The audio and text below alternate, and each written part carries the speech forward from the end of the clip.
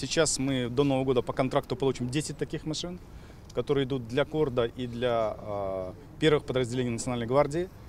А, И а, благодаря позиции, которую занял СНБО и Александр Валентинович, и премьер-министр, скорее всего, мы, если испытания пройдут нормально, мы в этом практически убеждены, мы заключим большой контракт и в рамках государственного пакета гарантий около 100 машин сможем поставить на вооружение нашей Национальной гвардии, спецпризначенцев. Именно поэтому здесь сегодня с нами еще и бойцы АТО, которые тоже смотрят на эту позицию и присматривают, э, можно это забрать или следующее.